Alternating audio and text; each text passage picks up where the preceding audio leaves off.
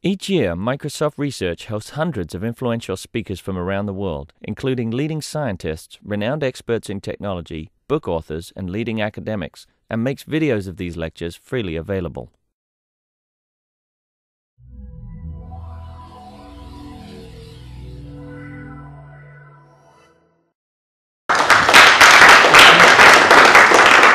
Thank you. Thank you very much. Thank you for inviting me. This is really uh, a very, a very good audience for me to talk to because it's, very, it's a very challenging audience for me. I'm mostly a theoretical researcher at heart, and it's very intimidating to, to, to talk to such, uh, such, such hardcore uh, designers and, uh, and programmers.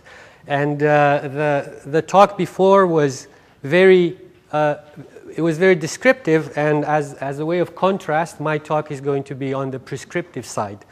Uh, I'm not talking about how things are now, but about how I wish things are going to be in the future. So, there is, there is a tension, uh, there, is, there is a creative tension in programming languages. There's, there are two aspects of programming languages that sometimes conflict with each other. One is computation the desire to make your programs faster, to run faster, to use less memory, to use uh, fewer resources construed in any kind of way you might wish. And these are quantitative concerns. And these kind of very important quantitative concerns drive the kind of, uh, uh, the kind of research that we have just seen. And that's why it's in black there, because it, it, it ends up making things messy and complicated because it's really, really important to make them fast and efficient. On the other hand, in programming languages, we have structure. We don't only want to run computations, but we want to have a good way of piecing together complicated programs and complicated uh, pieces of software from their components.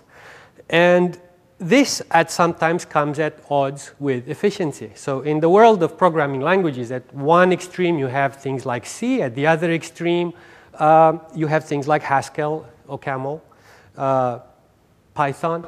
So these are the things in white, where the emphasis is more on structure and on ease of programming. And uh, this is the kind of space in which this talk is going to be. Concern with computation is very old. The idea of algorithm, the idea of algebra as well, were introduced in the 8th century by a Persian scholar called Al-Khwarizmi, who gave his name to the idea of algorithm.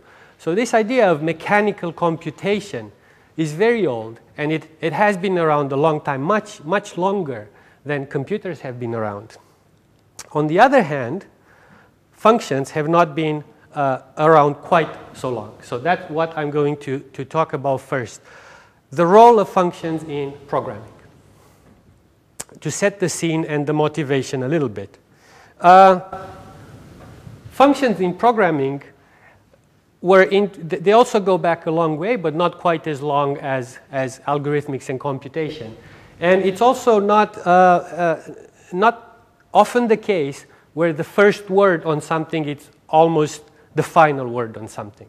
In, in the case of Alonzo Church, who invented the, uh, introduced the lambda calculus in 1936 uh, as a way of mechanizing mathematics and providing a constructive foundation for mathematics, he really hit the nail on the head with that one because lambda calculus is still now the ultimate vehicle for structuring programs.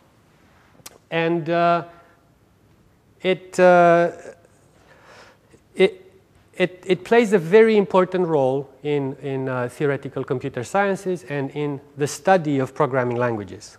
And we know that functions are very important. We know that we use functions to do uh, decomposition of programs, complicated programs, decomposing them in simpler programs.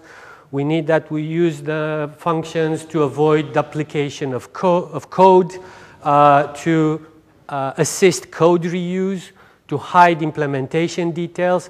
And we know all these uh, methodological justifications for having functions around. And these are very good justification. And I'm not going to repeat them because I'm sure with this kind of uh, methodology and ideology you're all uh, have been exposed to. But what I want to emphasize more is the practical role of functions in compilers. Because functions were introduced in the very first programming language, the very first proper programming language. Uh, here you have John Backus and an IBM 704, which was the machine on which the first Fortran programming, uh, uh, Fortran compiler operated.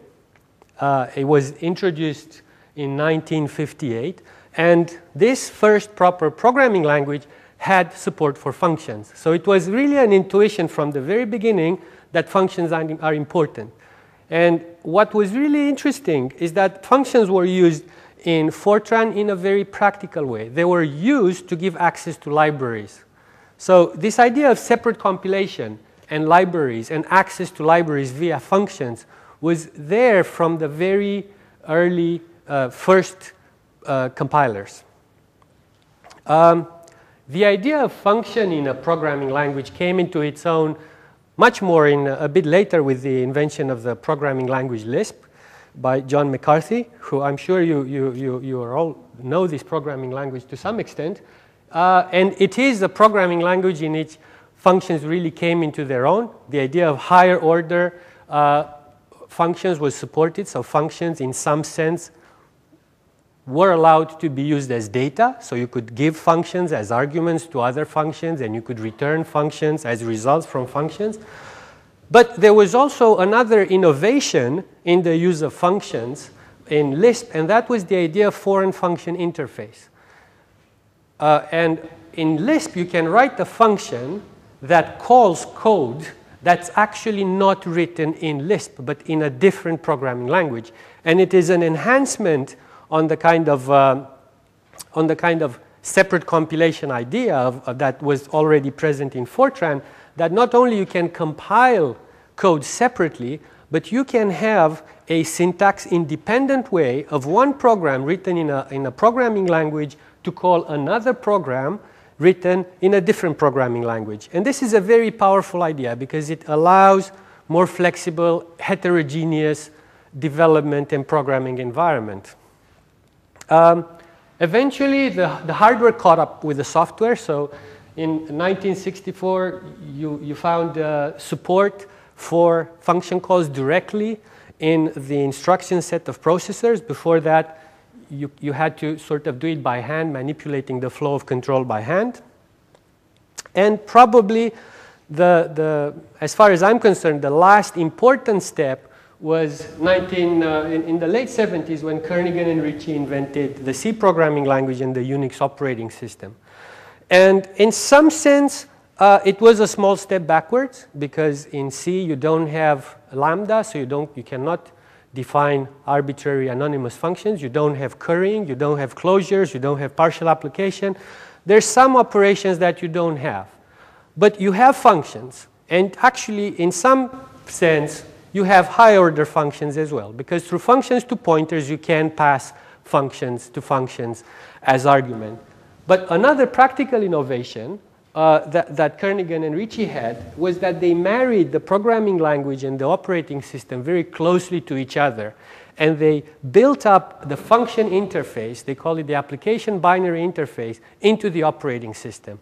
And they standardized it and they, they made it very clear so that through function calls, you could not only access code, but you could access runtime services. You could interface in uh, really with anything, with any other device running on, on, on, your, uh, on your hardware that obeyed the specification of the application binary interface.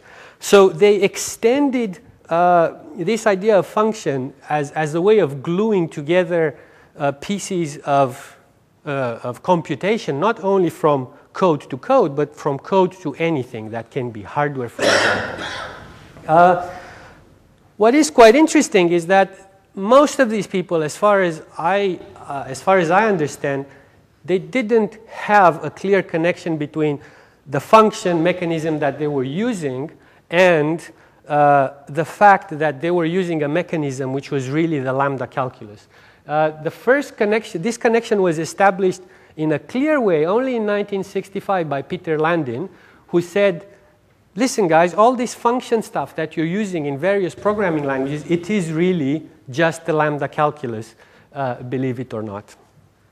So that, this kind of conclude my brief survey of, uh, of, uh, of functions. And because the point that I wanted to make is whether you have kind of the, the metaphysical leaning of, of, of a Platonist and you think functions are very important for foundational and for this kind of more metaphysical reason, or you have, uh, you have the, the practical mind of an Aristotelian, uh, and you know that functions can be used not only for, uh, for the niceties that they offer methodologically, but also for gluing code together through separate compilation, heterogeneous compilation, runtime services, and so on.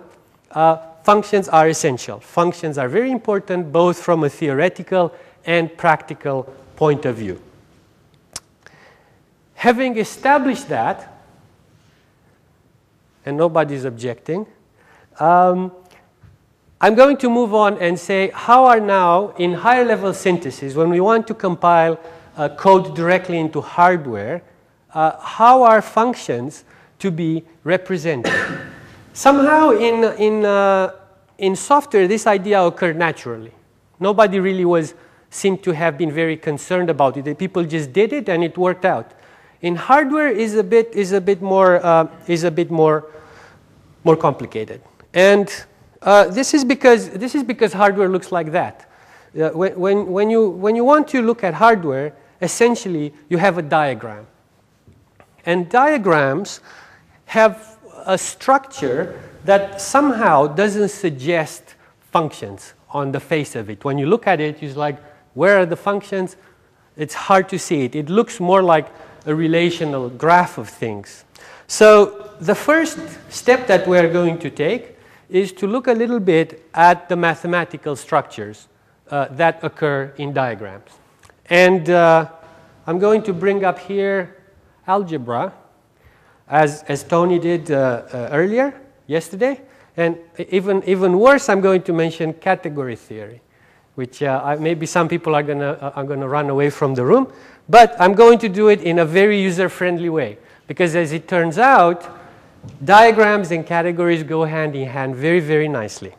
So let's look at a more serious diagram. This is, it doesn't matter what this circuit does, it's just a circuit. It's actually a decision wait, uh, it, it's a decision wait uh, circuit in async in a, implemented asynchronously. But important thing is that is a circuit. So we have four gates and we have some wires. And in a generic hardware description language, you might represent it somehow like that. So you instantiate your circuits, you declare some wires, and then you say what is connected to what. And this is, in a sense, a very low level because you have to keep track of a lot of irrelevant detail. And the irrelevant detail here, and in general in programming, manifests itself as names. There are a lot of names that you have to introduce and manage here. There's names of instances, there's names of ports, names of wires, there's lots of names. And that it tells you that is, you are in a very low level setting. Uh, moreover, this way of describing diagrams is very flat and unstructured, and it obscures the mathematical structures that you actually find in circuits. So I'm going to present you a different way of specifying diagrams. And this is a way that is not actually new. It's a, it's a, it's a way of presenting diagrams which is based on combinators. So first, let's uh, talk a little bit about interfaces. And by interfaces, I really mean interfaces to circuits, uh, where you think of interfaces at places, as places on a box where you can plug things in. So an interface is just going to be a list of names. And for notions that have to do with mathematical notation, I'm going to separate by this tensor symbol the names in an interface. And we have one operation on uh, interfaces, which is changing the polarity. So input changes to output, output changes to input, and this is obviously an involutive transformation. If you apply it twice, you get the same thing back. So here you have, for example, uh, how a composite uh, video interface would look like. And you, if you apply the star operation, then you get that, right? So these are all inputs, uh, and those are all uh, sort of the, the converse uh, connective so that you can plug them in. Circuits, we're going to look at them as boxes with some of the interface put on the left uh, and some of the interface put on the right. And that is purely conventional. It doesn't matter that, uh, it doesn't mean that the stuff on the left is input, it doesn't mean that the stuff on the right is output. As a generalization of the input on the left, output on the right convention, everything that's on the left has the polarity reversed. So our circuit, we're going to say that this circuit F has shape A arrow B, where A arrow B is defined just as A with a star applied and then B. So everything that's on the left has the reverse polarity. And then what you can do with circuits, it's obviously is composition. And there are two ways you can compose these circuits. One of them is serial. So if I have two circuits that uh, have a matching interface B, I can plug them in seriously, serially or parallel composition. I can put them uh, in parallel with each other, and you get uh, another circuit which is, has its own signature defined by the, uh, by the signature of its components. One special circuit that is going to come out uh, and plays a very important role is the identity. So that's the circuit that doesn't do anything. It is basically just a connector. Um, and because it is, a, it is an extension lead style connector, again, the, you can see why the input on the, sorry, the ports on the left and the ports on the right has to have, uh, they have to have reverse polarities so that they plug in, the plug-in operation is well defined. And uh, the parallel and the serial composition, they have to play nicely with each other. And uh, the name that uh, uh, Tony Hoare gave to this uh, to this fact, he called it the exchange law. Uh, another name that it has in category theory is functoriality. So this diagram that consists of four boxes, you can specify it in two ways. You can either put f and g in parallel, f prime in, and g prime in parallel, and then compose sequentially, or you can put f and f prime sequentially, g and g prime sequentially, and compose in parallel. In both cases, you get that diagram on the top, so these things should be equal. Another special case of diagrams, another special case of circuits, are isomorphisms. You can have two interfaces that have kind of, they're kind of very similar but not quite equal. So uh, if you, uh, a good example of isomorphisms are adapters. So here uh, you have uh, DVI to uh, Uh, DVI to VGA adapters, for example. Yeah? So if you have, like this one that I just used here. Yeah? So if you, have, if you have two interfaces like this, they're quite similar. You can, you can connect them with a, with, a, with a circuit like this, which inside it only has wires. And the defining property is that there, if you have an isomorphism, there should always be a reverse isomorphism. So if I plug them together like this, or if I plug them together like that, I should get something that behaves just like an extension lead. So if I go from uh, DVI to VGA and then back to DVI, I should really have the behavior of an extension lead for a DVI.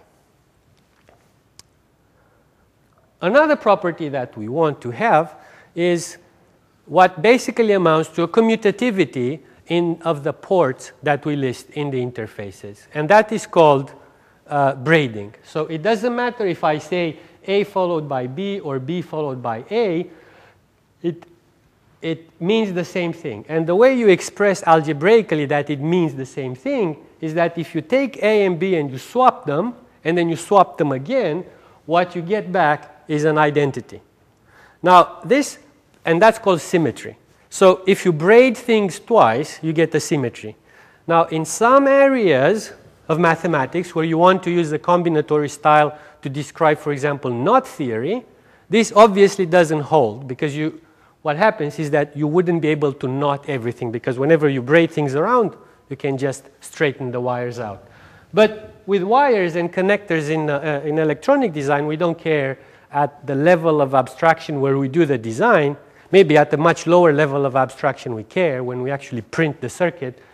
But at the design level of abstraction, we don't care if the connectors wire around. And again, all these things have to play nicely with each other. So the parallel composition, the sequential composition, and the braiding have to play uh, nicely with each other. And you can see that from the equality of these two diagrams. Whether I put F on top of G and uh, I swap the right side, or G on top of F and I swap the left side, I should get back the same thing. This should be two diagrams that are equal. And the final component that we need in our language of combinators is a notion of feedback. so you have a, a, feedback on the left where you can take uh, something, a port that comes out on the left and connect it back to another port on the left, or the same thing on the right. And it tells you, and the equation they satisfy that tells you that you have something that, uh, that works uh, pretty well, is that if you, if you plug them in like that, you should be able to yank this S-shaped wire and get something that's essentially an identity. Okay? So, so what I described here is a language of combinators. And what is interesting about this language of combinator, which together form a mathematical structure called the compact closed category, is that there is a proved mathematical result coming from Kelly and Laplaza in, 19, uh, in the 1980s, where they showed that this is a language which is sound and complete for topological diagrams up to graph isomorphism. So any diagram, they proved that any diagram you can think of, which is a graph-like diagram expressed by boxes and wires, can be uh, expressed just with this handful of combinators. Uh, so, so, and moreover, equality of diagrams can be proved by reasoning with these equational laws that I just showed you. So this is an ideal language in which you can specify uh, you can specify diagrams, and because it's a good language in which you can specify diagrams, it's a good language in which you can specify circuits. So, going back to the same example, and changing the names a little bit so I don't have to use mathematical symbols, uh, you can introduce a syntax like that in which we can define the decision wait diagram. And this is a completely point-free style. Now, I don't have any names there. One is the identity, fork is a forking wire, two are two identities in parallel, and everything else are just uh, uh, circuits occurring there. So any diagram you can think of can be expressed in this point-free style. And this in itself is not new. The Lava programming language that was, um, uh, it's a Haskell-based structural design language developed by uh, Sheeran and Satnam and other people, had this idea of specifying hardware using a point-free combinatorial style. But what's different here is that the choice of combinators is different.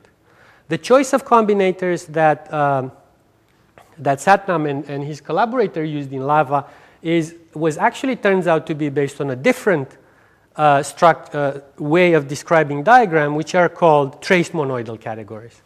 But they didn't, they kind of reinvented them. They didn't apply this, uh, this structure. The way in which these combinators are in some sense better is that they bring out a functional structure that you can recover out of diagrams and that a functional structure that lives inside these diagrams all the time. So in category theory, this idea of function space is explained by the fact that a certain axiom always holds. So for any types, for any interfaces A and B, there is a circuit called eval, which corresponds to function application, so that for every circuit F, if I take the, there is a unique circuit H, such that if I take the identity and I tensor it with H and I apply the evaluation, I get back F. So in, in other words, it says, I know I have functions if for every F there is a unique H so that if I apply H to the identity, I get back H. And that is what in a functional programming language you call currying. So if you have currying, you have functions. And this is expressed in a very abstract way. And indeed, in a compact closed category, using the combinators that I just showed you, this can be both the eval and the h can be expressed. And it is strikingly simple. If you want to curry the function f, all you need to do is you take the argument that you curry on, and using the feedback, the identity, and the parallel composition, you take it onto the right side.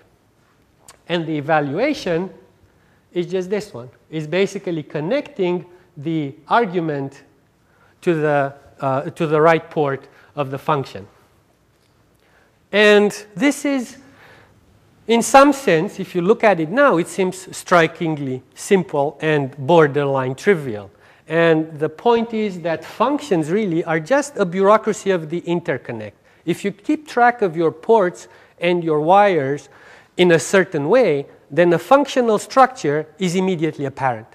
So if you do it in the, in the relational style where everything is flat, then you get something like, like that on the top, and the structure is not all that apparent. But if you write your, uh, if you use the right combinators in the right way, then functions come out uh, fairly, in a, in a fairly straightforward way. And now we can already, just with this simple idea, we can do some synthesis. Because we are used to programming languages which are written like that on the top, but in fact, even programs that are um, even programs that are uh, imperative can be written in a functional style. So I can write, for example, instead of writing v plus 1, I can write add the reference of v and 1, and so on. So here you have the usual syntax and a functionalized syntax. And from here to here is a straightforward syntactic transformation. Now, once we have a program written in this form, we know that we can, all we need to do is to have implementations for the various constant names that occur in the program. And then everything get, gets, put to, gets put together just using function application and sometimes currying if we need to define functions. So let's look a little bit at some of the constants that uh, we can use. So for example, let's look at the simplest constants, the constant integer n and the command skip that doesn't do anything. Uh, to every type is going to correspond an interface. So for the type of commands, my interface has one, uh, it has one input and one output. The input says run the command. The output says I'm done executing the command. And because the skip is a command that doesn't do anything, its implementation is just going to be a wire that immediately, instantaneously propagates the input to the output. Um, for expression, the, the signature is going to be an input that says calculate the expression, and then an output that consists of a, a data line and a control line. The data line stores the value, and the control line tells you when you can read the value. Because this is a constant, again, inside you have just, uh, just a wire, and the value is connected to a fixed bit pattern. Something slightly more complicated, sequential composition. So if I want to sequence a command com and an expression exp and produce an expression with side effects, then my combinator, sequential combinator is going to be as follows. So here on the right, I have the expression port, see it corresponds to this. On the left, I have the command, this one, and the expression, this one. So it works in the following way. I get an input here on the right, it's propagated, and it says execute the command. When the command is finished, it comes, uh, an acknowledgement is going to come back in. Here I have a flip-flop where I wait for one cycle. I'm going to explain to you why I have to wait for one cycle. And then I propagate to the expression and I say run the expression. When the expression is calculated, then I report to the caller that the expression was calculated. And in this style, I can define all the constants that I need in my programming language. Where do they come from? They come from an interpretation of programming languages that is called game semantics. And that there is a, there is a very broad literature on game semantics that tells you how, using game semantics, you can produce very accurate, uh, these kind of interactive style models of pretty much any, uh, any constant, uh, any, any programming language feature you can think of. There are game semantics for state, for control, high order functions, recursive data types, and so on. They can all be mapped into that via uh, game semantics. There is an important technical consideration uh, when moving from game semantics, which is given usually an in an asynchronous style, to giving a synchronous representation. When you take an asynchronous process and you want to implement it synchronously, having also a latency which is as low as possible, you can run into problems. You can cause deadlocks if you put too many signals in the same clock cycles, but also weirdly, you can resolve deadlocks, and both of these are problematic. Uh, and round abstraction is a technique that was uh, studied to, by me together with my student Mohammed uh, of doing that in a way that is compositionally correct so that we can do it without breaking deadlocks and without introducing deadlocks. And that's why uh, sometimes you have to introduce these one clock delays as I showed you on, the, uh, on this slide. This is an artifact of round abstraction which is required for correctness. And the main operation here is plugging things together. The main operation is function application. So if I want to apply function f to argument m, I synthesize the circuit for the argument, I synthesize the circuit for the function, and I just apply the evaluation. Here, the caveat is that here on the left, these ports that go on the left of M and on the left of F, they correspond to the free identifiers occurring in F and M. And these free identifiers have to be disjoint for this interpretation to work, uh, which is a, of course, a constraint, which we're going to deal with it a little bit later. So here is an example what we can, uh, what we can implement uh, with, this with this compilation technique, which is kind of a, a realistic program, and it's an in-place map. Suppose that I have uh, a data structure residing somewhere in a, in a different circuit where I have an interface to it, and it gives me the following functions.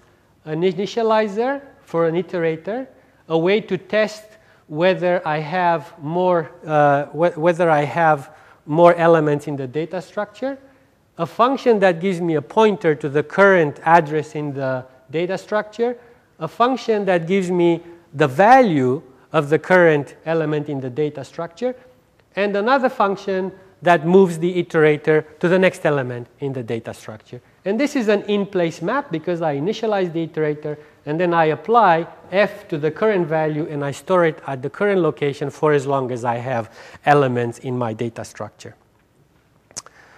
Uh, if we look at kind of the box style representation, the, the, the, the the abstract representation, well, these are going to be my, the constants that are involved in the description of this program, and these are the way they're interconnected. And now if I open, if I open the, the boxes and I look at the implementation that's inside the boxes, and I, I, I tidy up the wires a little bit, then I get this circuit. And this circuit is a circuit for in-place map. So it is, it is uh, proof that you can synthesize code that is indeed higher order and it is, it, it, it is useful. The big limitation up to this point is the fact that we are not allowed to reuse identifiers in function application. And in fact, we are not allowed to reuse identifiers in any way. And if you want to write imperative programming, especially, then the name of an identifier is going to be used over and over again many times. So if you, if you want to do something as simple as an increment, see, I am applying assignment to store index and the addition of the dereferencing of store index, it's already a problem because store index, this identifier, occurs twice in a function application. So we have to look at ways to do sharing now because really sharing is the, the one aspect of functions which is dynamic and that allows uh, not only to, to access resources, but access resources efficiently without duplication. And one of the main weaknesses of, of, of hardware, uh, uh, of most of the tools for higher level synthesis that I have seen, is that the way they handle function is just by inlining. And inlining doesn't support any of, of the, this, uh, uh, doesn't, doesn't have any of the properties that I mentioned before. It does, you cannot do separate compilation using inlining, you cannot do heterogeneous compilation, you cannot access runtime services, but also you end up duplicating your, your code every time you inline a function. So we need not to just inline, but also to share. And unlike functions, which come out naturally out of the mathematical structure of the diagram, uh, sharing has to be built in. And now, what the mathematical formalism can give us, what the algebra, algebra, can give us, what category theory can tell us, is when we implemented sharing correctly. And to implement sharing correctly, we have to realize a mathematical structure that's called product. And there are no way, known ways of getting from tensor, which is like product but without sharing, to proper product, which allows sharing. And there are certain axioms that have to be met. And these axioms are things that are, you actually have to implement your circuit in such a way that they hold. Otherwise, you don't have sharing uh, properly. The first one is the following. If I have a circuit of the following shape, it has a bunch of, it has a bunch of ports on the left and no ports on the right then it should be uh, equivalent in behavior with any other circuit of this shape. So up to this point, uh, we made no distinction between things occurring on the left and ports occurring on the right. We said it's, it's just arbitrary. Now when we're talking about sharing, this is no longer arbitrary. One way of, of enforcing this property is saying that my circuits have to have an initialization property where the first, where the very first signal to that circuit has to come from the right. So notice that if I have no ports on the right, and I require that the first signal has to come from the right, then all the circuits of this shape are going to be dead. And because they're dead, they're going to be equivalent. Another property is that of a projection. So if you have a product, you have to have a projection, a way of extracting things out of the product. And that tells us that for every signature A, we have to have a circuit called a diagonal that takes from an A to a pair of A. So this circuit realizes the sharing.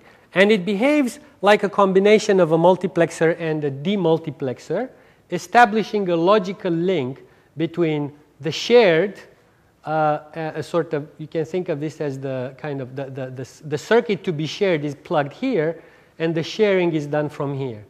And the projection property says that if I'm only using one of these, uh, these points where the sharing occurs, the, the other one is grounded, I'm not using it, then the resulting circuit should behave like an identity. So if I take these diagonal and I block one of the, uh, one of the components, what results has to behave like an identity. And that's pretty straightforward to implement by combining a multiplexer and a demultiplexer and one bit of state. The final property that we have to, uh, we have to make sure that is respected is one of, again, a naturality property, which corresponds to inlining which tells you that a function that's shared should behave exactly as if it was inlined. So here I have a, I have a circuit F, and the right side is shared from two places through a delta, and this should be the same behaviorally as taking two copies of F and then sharing their free identifiers. And from the point of view of, of, of, of the behavior of hardware, this corresponds to self-resetting circuits. So with a, a self-resetting circuit works in a transaction-like way, like way. So you, you start a transaction with a self-resetting circuit, and then when you're done, the circuit has to be automatically returned uh, to its initial state. So things that, uh, for example, things that you cannot share because through, by construction don't satisfy this property are things such as counters. So it doesn't make any sense to share a counter because one copy of a counter will receive all the inputs, but if I take two copies of a counter, each one is going to receive roughly half the inputs, and the behavior uh, is going to be different. Right? So you know that some circuits cannot be shared and some can be shared. Uh, and this is kind of a global requirement for all your circuits. So what we can define is a very simple access protocol that allows, uh, that defines circuits that can be shared. And uh, this access protocol has two rules. Initialization, each circuit must have a designated initial input, and that initial input should always occur on the right. And reset, each circuit must have a designated final output, which corresponds in some sense logically to the initial input, which returns the circuit, the circuit to the original state. And so it happens, all the constants that we have, all the implementations of the, all the constants that we need in the programming language satisfy these two properties. Moreover, uh, what's interesting about this, uh, a simple access protocol like this is that it's compositional. So if I take circuits, individual circuits that satisfy this protocol and I plug them together in a legal way, I'm going to get bigger circuits that automatically satisfy this protocol as well. So that greatly reduces the burden of proof and is very important for a compiler. You can only check the basic sort of the basic circuits that you are going to use to make sure that these, pro these uh, properties are satisfied and then automatically through compositions they are going to be preserved. So we can now implement sharing. And we are going to implement sharing for technical reasons in product formation rather than in function application. So I can, when I take the product of two circuits, I can automatically share all the free identifiers like that. So now I can write imperative programs such as f of x semicolon f of x. And that can be written in a functional like notation as make, creating the tuple of f of x and f of x and applying the sequential composition operator. So here is, uh, here is the circuit. Here you can see the diagonal for the function type, the diagonal from the, for the result type, and here is the semicolon sequential composition, and they sit in a box. And here, outside of the box, you can plug in one instance of f and one instance of x only. So you don't have to duplicate f and x twice. Okay, now very briefly, just to mention some more advanced issues to get to a more, uh, even more realistic programming language. One of them is that we still do not allow sharing in function application. So we do not allow f of f of x because well, in here is you can trace kind of uh, uh, the flow of a token through two diagonals if you try to construct f of f of x and you end up with an infinite loop. So that is not correct. So whenever you have nested function application like this, programs have to be rewritten in a systematic way. But fortunately, very many programs that uh, use nested application can be rewritten in a way where everything that's nested is actually duplicated. So the things that we really cannot share, we can duplicate. And the most, uh, probably the most typical example where nested application comes out is in recursion. So how do you compile recursion? So we can also compile recursion uh, in the following way. Whenever you, can, you compile a circuit F, you think of it as being parameterized by a constant. And uh, that constant, in some sense, reflects the depth, conceptually, the depth of the recursion stack. But there is no recursion stack. It's all the memory is distributed throughout the circuit. And your nested fun function call is going to be something like that. The first function calls the second one, the third one, and so on. And you can take a structure like this and fold it onto itself. And here, instead of having a constant parameter, you can have a, uh, you can have a counter. And the fixed point combinator, whenever you have a recursive call, you just increment the counter. Whenever you make a recursive return, you decrement the counter. And in this way, you can also implement recursion. So you have, you end up with uh, a pretty mature way of dealing with functions. We, have, we can have separate compilation, we can have automatic sharing and management of resources, and recursion.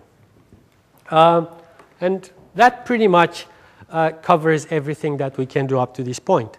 And I'm just, I'm just going to, uh, to conclude with, uh, again, some kind of, a, um, some kind of an, uh, a bit of an, a very brief opinion piece, which everything that we're doing in this, uh, in this research program, the geometry of synthesis program, is not as much quantitative as qualitative. It's not about making our programs 10 times faster or using 10 times less resources, but we are trying to, to, to do higher level synthesis in such a way that we give the programmer a better experience and hopefully allowing the programmer to be more productive, even though uh, that productivity might involve um, a loss of uh, a, a, loss of performance. Now, the key here in making this uh, in making this, this succeed is probably finding the right balance between how much uh, uh, how much flexibility and how much uh, how much of a better experience you give to the programmer and how much you improve how much you improve the experience of programming and the productivity versus uh, how much performance you lose. And so far we have a, we have an, uh, a prototype compiler and, and we did some experiments with it, but it's largely a work in progress. But the initial, the initial results that uh, we have are, are promising, and we hope that we are striking the right balance. And this is a list of the uh, relevant references that cover this tutorial. There is also a tutorial in the proceedings that corresponds to this talk. Thank you very much.